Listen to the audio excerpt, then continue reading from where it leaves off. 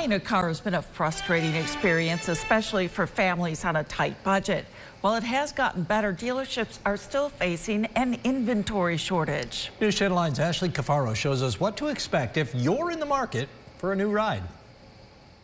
Don't step on the gas pedal just yet because you won't get too far. The pandemic led to fewer choices and jacked up prices, and there are still fewer cars on dealer lots naturally inventory's down from where we were three years ago at this point. It's been a tough couple of years with empty lots, supply chain issues, shuttered plants, and while sparse lots are filling up again, car buying isn't back to normal just yet. I took over this store in 2014. I've been here since 2009, but I've been in the business almost all my life in service and sales, and there's never been this much of a crunch for vehicle inventory. Affecting cars across the board, with the more popular models being tougher to get.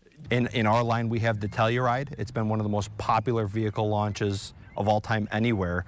They're still you know, for us on order only, and, and, we get them, you know, four to six months out. Just three years ago, this lot was filled with hundreds of cars to choose from, but that's no longer the case.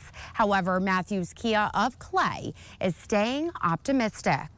I think manufacturers are on top of it. I think that they're moving along, getting cars into the dealers and doing their job to get these products in front of consumers. Speeding things up day by day. In Clay, Ashley Cafaro, News Channel 9. And the dealership says now's a good time to trade in and trade up. Used cars still in demand. Head to localsyr.com for more about that and find out why it could be a good time to buy out your car lease.